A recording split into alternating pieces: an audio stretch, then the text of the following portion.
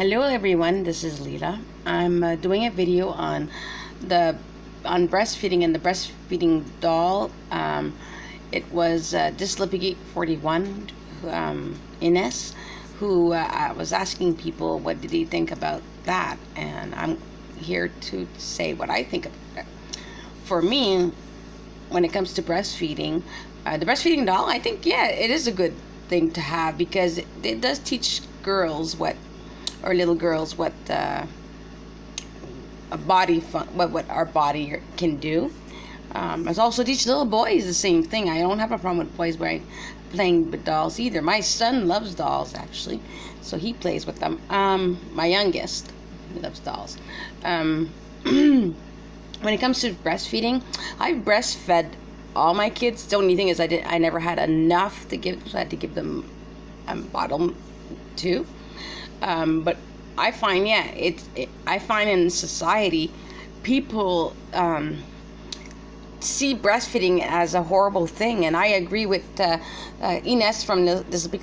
This will be 41 that it's ridiculous because it's something natural it's something that our body are, are made to do and people needs to yeah people needs to wake up and see that we're not trying to horrify or make anything disgusting to people.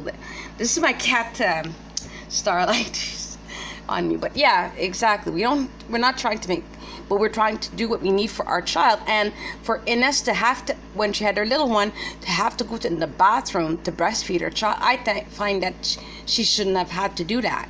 She should have been able to be at the table, have her food, and breastfeed uh, her baby like any normal parent should be able to do.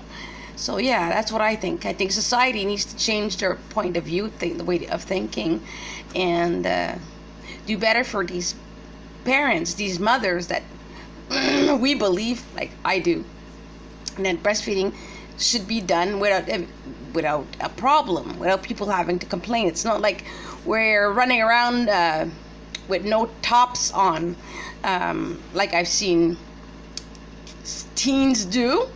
So yeah, I, I don't see it as a problem, and that's what um, this is my point of view on um, breastfeeding. And uh, thank you for listening, and bye for now.